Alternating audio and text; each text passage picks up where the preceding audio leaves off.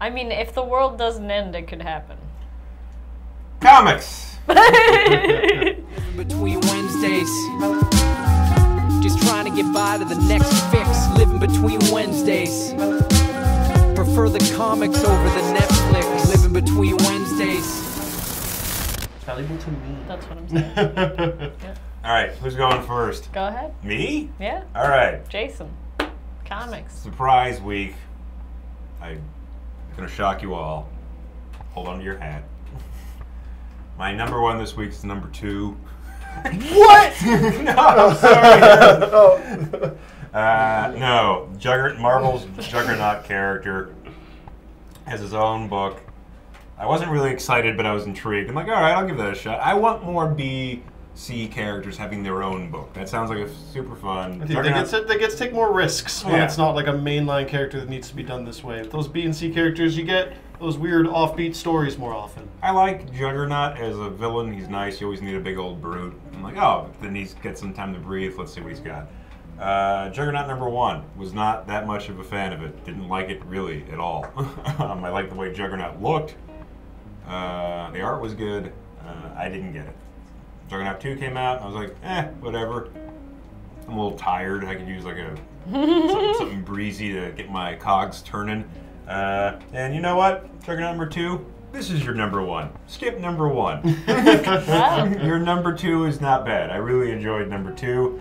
I like the voice of Juggernaut. I like the way it's illustrated. I like the version of the Hulk that shows up in this one. He's very. It feels like the current Immortal Hulk. They- Yes. They, got the tone right for sure. Uh, they're trying to figure. Juggernaut's whole thing is he's kind of stuck in an intersis.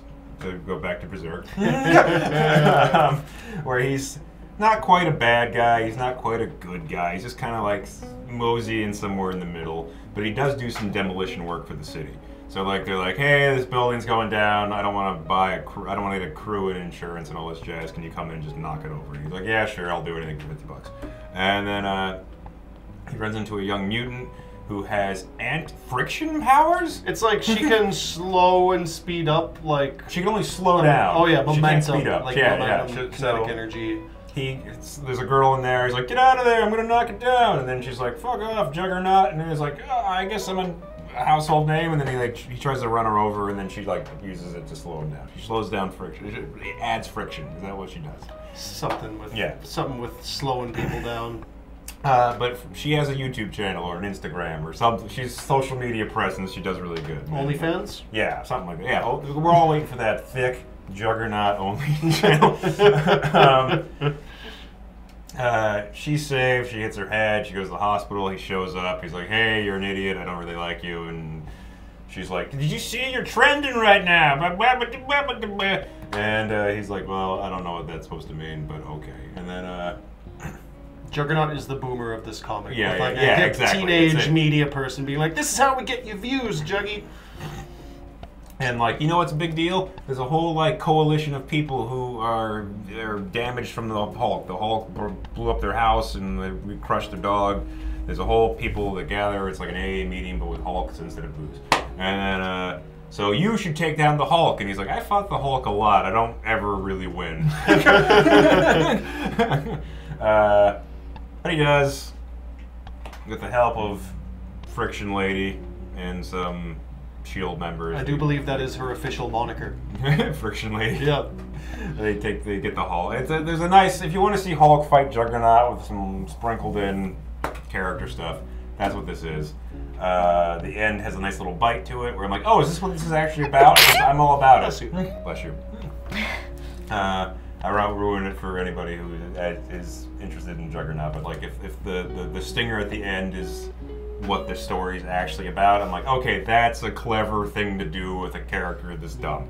I've uh, I said it with issue one. I, I'm enjoying this series, but I it was touched on very briefly in issue one. It was touched very briefly on this one too. Yeah. Of the fact that he's he's not a mutant, but he's like a mutant in regards of he's involved with the X Men and Magneto and all that, right? Yeah, he was a But bad like- guy for the X Men. Yeah, but like he's the only one in that whole world in that whole realm who is not actually a mutant. So they're all off in Krakoa doing their Jonathan Hickman diagram, graphic design, infographic thing. Yeah. And he's like the one that can't go with them. And I want to see. And I'm not saying this is bad because it doesn't do that. I'm, I'm literally saying I want a different book. But like I want to see a book where like he's dealing with that. He's Yeah. all alone. He's the only one left. What's he gonna do? Isn't that I want to see sad Juggernaut. There is a King Tank Girl number one, and I feel like I don't need to spend a lot of time talking about this. If you like Tank Girl and you like her roaming around doing ridiculous shit with her gang of misfits, uh, you know, it has Sub Girl, it has Booga, it has all your regular su- suspects. They're trying to find the the holy grail of classic action figures that she didn't get growing up after Booga reveals that he had that growing up and he buried it in the yard. So they're trying to find his childhood home to And it's a- dig up the action figure that she needs to complete her collection. what's it called? A Groil? Yeah. Yeah. It's like a play on the Holy Grail. Yeah, yeah. Yeah, it's great. It's funny. Uh, she blows up the stone that Excalibur is in with her tank and then waves the sword around and is like, I'm king now. And they go for it. She becomes Yeah. king, Yeah, right? great. Yeah, she's king. Yeah, it's it's silly. It's fun. The art's fun. It's what I expect from a Tank Girl comic. If you like Tank Girl, you'll like this. Yeah, and there's like little one-page gag stories. Yeah, and Like- side like runoffs because they Yeah. uh, obviously like travel through time and all Yeah. that stuff. That's pretty. This is pretty typical of like the nonsense that is Tank Girl comics. It's like sort of weird, like uh, world jumping, like nonsensical humor. It kind of reminded me of like alternative Rat Fink, tank, classic Tank Girl mixed with some good old Calvin and Hobbes. Yeah, yeah. The newer ones are like less grimy, more silly, and Yeah. that's fine. Um, I like that about them. I think it makes them more accessible. So, even if you've never read a Tank Girl comic, this is fine. Don't eat don't eat my torn jeans. Those are for fashion only. What else you got?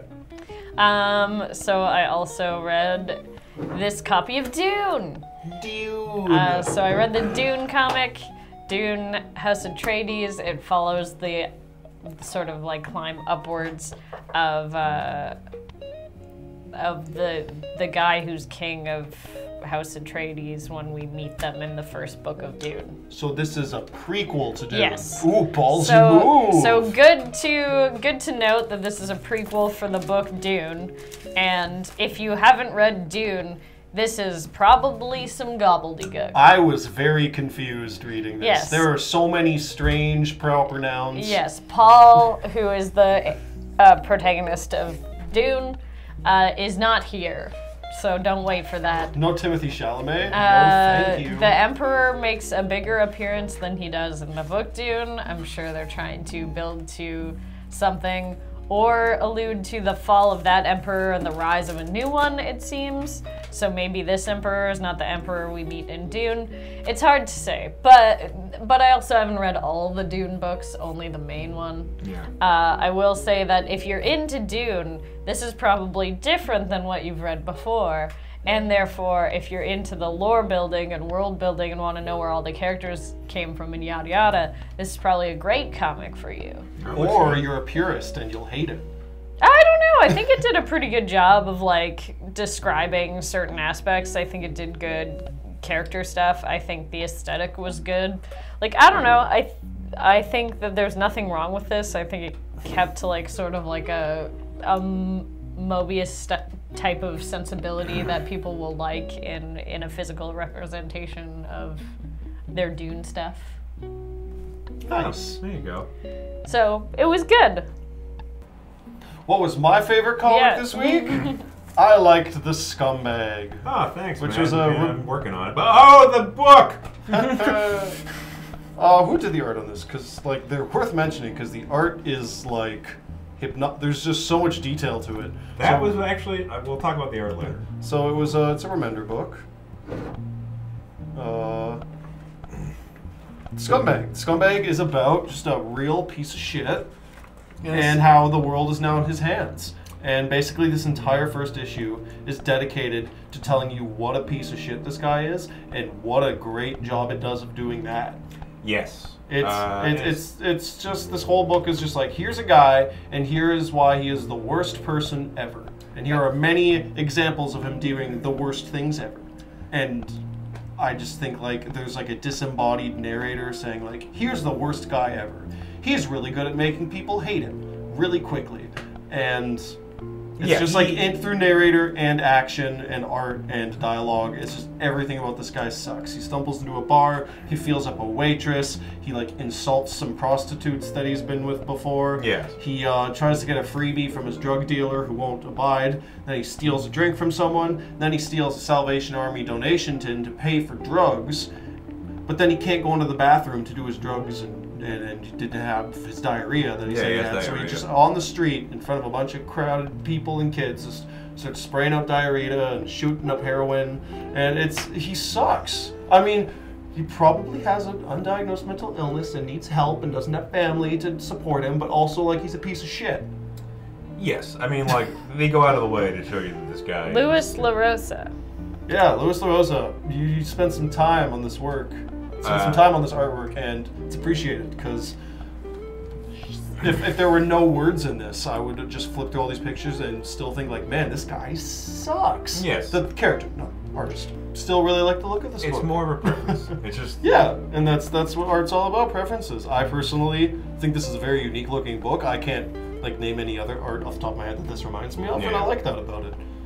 But uh yeah, it's just like a that's basically it. Introduces you to a dude, really goes out of its way to tell you how much he sucks and how much of a scumbag he is, and then just like hands him the keys to saving the world, and then just sort of ends on that. Like, how will he do that? yeah. So For for a solo Judas Judas Priest concert, that's part of his. Uh, Yeah, he's like, I don't want to save the world, and then like they're like, please, and he just asks for like a He asked for two thousand dollars cash, which I thought was hilarious. That's a good joke. yeah, but then Yeah. also like yeah, a solo Judas Priest concert in a suitcase full of drugs And and one a of those weird sex rock- dolls that talk. Yeah. and like a rocket car. But yeah, this is I, I I laughed a lot reading it. I um I think it does a really good job of informing you exactly how you're supposed to feel about this character.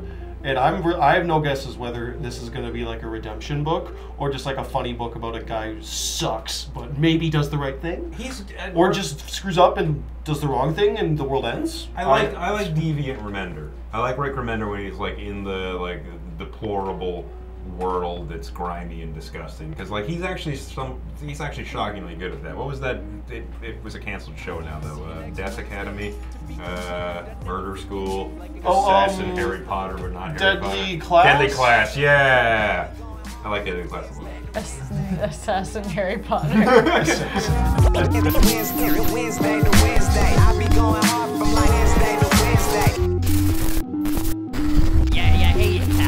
got that one where Superman goes to Supertown? Yeah, I got that one. it come out. I like the fourth one.